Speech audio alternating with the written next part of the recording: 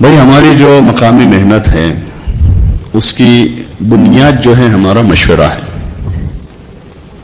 وہ جتنا ہمارا مضبوط ہوگا، اور مشورے میں جتنے امور آتے رہیں گے، وہ چیزیں زندہ رہے گی۔ وہ چیزیں چلے گی۔ اور مشورہ جو ہمارا ہے، وہ پوری مسجد کی جماعت کا ہے۔ چند افراد کا نہیں۔ اور مسجد وار جماعت ہمارے بستی میں، مسجد کے اطراف میں رہنے والا ہر بالغ مسلمان ہماری مسجدوار جماعت کا ساتھی ہے۔ ہماری مسجد کے اطراف میں رہنے والا، یہاں جیسے پانچ سو بتایا نا کہ پانچ سو بالغ مرد ہیں، تو یہ پانچ سو آدمی ہماری مسجدوار جماعت کے ساتھی یہ مسجد کمیٹی نہیں ہے، یہ مسجدوار جماعت ہے۔ مسجد کمیٹی میں تو دس سے بارہ اس سے زیادہ کی گنجائش نہیں ہوتی۔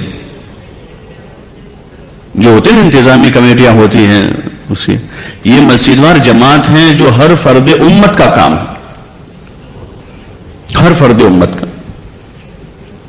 تو ہمارے جتنے بالغ مسلمان ہیں، جو چاہے مسجد میں بھی نہیں آتے، لیکن وہ ہمارے ساتھی ہیں۔ جو مسجد میں آ رہا ہے کم از کم، کہ وہ تو ہمارا پورا مجمع جو مسجد میں آیا ہے، وہ مسجد اور جماعت میں شریک ہو جاوے۔ اس کی ہمیں کوشش ہونی چاہیے۔ اس لیے جو وقت طے ہے مسجد اور جماعت کا، اس میں ساتھ ہی ایک تو جلدی شریک ہو جاوے بعض مرتبہ فجر بعد مشورہ ہیں۔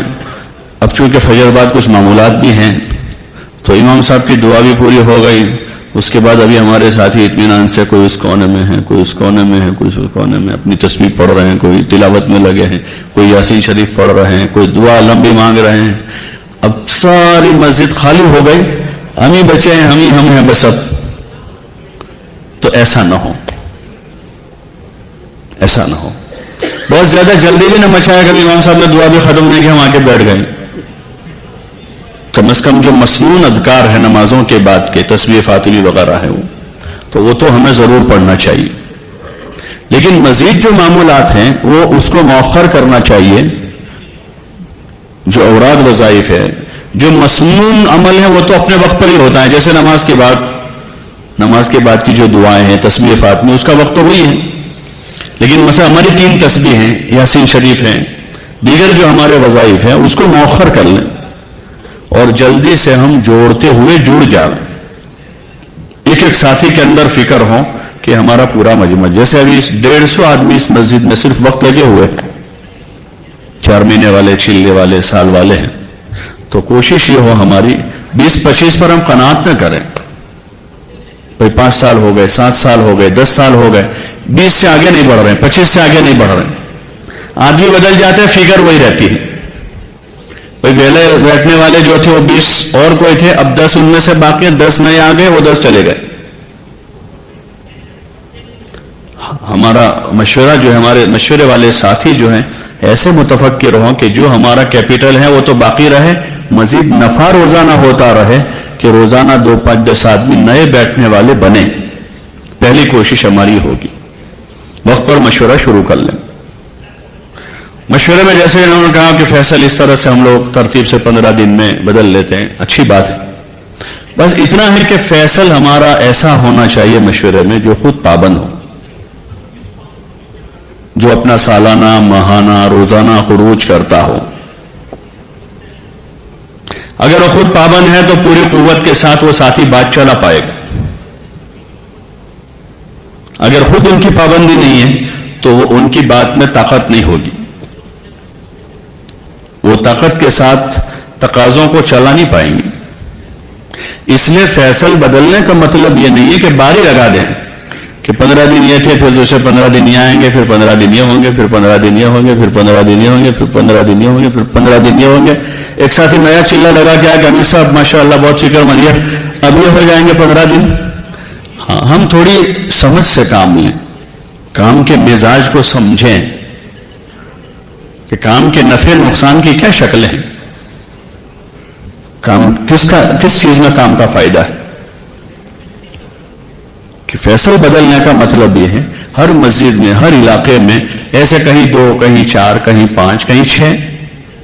کبھی زیادتی کے ساتھ ایسے فکر مند ساتھی ہوتے ہیں کہ جو اپنی ذات سے، قربانی سے چلتے بھی ہیں اور مجمع کو بھی لے کر چلتے ہیں۔ بعضوں میں وہ گٹس ہوتا ہے کہ خود بڑے پابند ہیں۔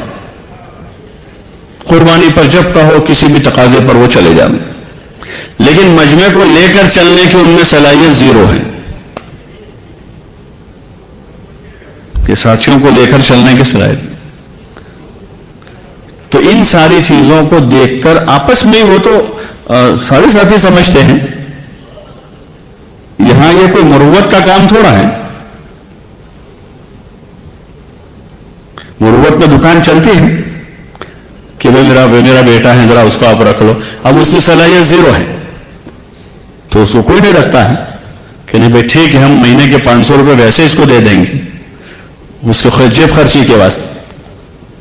باقی ہے کہ یہ ذمہ داری کے قابل نہیں ہے تو اس لیے گزارش ہے کہ سوچ سمجھ کر ایسے ساتھیوں کو فیصل بناویں، ایک تو جو خود اپنی ذات سے پابندی سے وقت لگاتے ہوں۔ دوسرا، سارے مشوروں میں شریک ہوتے ہوں۔ کہ وہ ملکی مشورہ ہوتا ہے ہلکے کا مشورہ۔ ہو ایک آدمی ہلکے کے مشورے میں نہیں ہے اور اپنی مسجد میں پابند ہے۔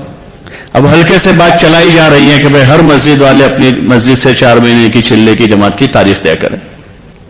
اب وہ مشورے میں ہے ہی نہیں وہاں۔ یہاں آ کر جو ساتھی گئے تھے، وہ آ کر کہیں گے کہ بھائی ایسا ہلکے کے مشورے میں طے ہوا ہے کہ اپنی مسجد سے چلے کی جماعت بنانی ہے۔ اب وہ تھے نہیں چونکہ ان کی سمجھ میں آیا نہیں ابھی تک۔ تو وہ بات وہاں سے چلے گی، سب جگہ جائے گی، لیکن یہاں نہیں آئے گی۔ کہ جو مشوروں میں شریک ہوتے رہے ایک تو ایک بھائی کسی کا کوئی عذر رہا کبھی کبھار شریک نہیں ہو پائے چلے چار مہینے میں گئے نہیں ہو۔ کسی وقت کوئی ذاتی ایسا ادھر تھا کہ نہیں ہو پائے لیکن ایک کنٹینیو آدمی نہیں شریک ہوتا ہے۔ تو پھر وہ آدمی اگر مسجد میں فیصل ہوں گے تو پھر وہ آدمی کام کو صحیح ترتیب سے لے کر نہیں چل پائیں گے۔ ان کی فکروں میں وہ وہ, وہ چیز نہیں ہوگی۔ اس لیے اس کی رعایت کریں۔ اور باری نہ لگا دیں۔ بھرے گا اگر تین آدمی ایسے ہیں تو ترتیب سے مشورے سے انہیں کو بدلتے رہے۔ چار آدمی ایسے ہیں تو ان کو بدلتے رہے۔ اور کوئی پندرہ دن پر کوئی یعنی مہر لگی ہو نہیں کہ سولہواں دن ہو جائے گا تو ان کی، ان کے فیصل ہونے میں کراہت آ جائے گی۔ بھائی مزے مطلب ایک محنت کے لے کر چل رہا ہے وہ۔ آگے ہمارا اجتماع آ رہا ہے۔ اس کی تشکیلیں ہو رہی ہے وصولیاں ہو رہی ہے برابر ماشاءاللہ ہینڈل کر رہے ہیں۔ اور اجتماع سے پندرہ دن پہلے دوسرے ساتھی کو بنایا۔ اب وہ جو زور تھا وہ ٹوٹ جاتا ہے۔ تو اس لیے ان ساری چیزوں کی سمجھ بوجھ کے ساتھ یہ کوئی حتمی چیز نہیں پندرہ دن پر بدل دینا چاہے سولہواں دن ہوگا تب یہ اپنے آپ معذول ہو جائیں گے۔ بلکہ ہمارا جو کام ہے، ہمارا وہ مشاورت کا کام ہے۔ اس لیے ان چیزوں کی رعایت کے ساتھ ایک تو فیصل طے کریں۔